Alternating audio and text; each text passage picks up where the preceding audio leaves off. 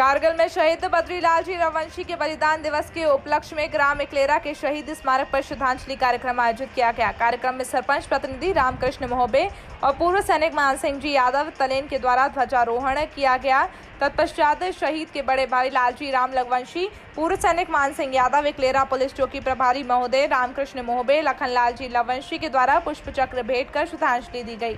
कार्यक्रम की अध्यक्षता लोधा लवंशी समाज के जिला अध्यक्ष गिरधारी लाल जी लवंशी ने की।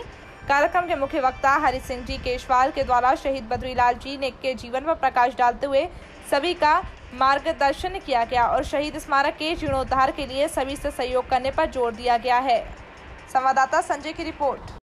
लेटेस्ट न्यूज़ देखने के लिए प्राइम ब्रेकिंग न्यूज़ चैनल को सब्सक्राइब करना न भूलें और साथ ही डेली अपडेट्स पाने के लिए बेल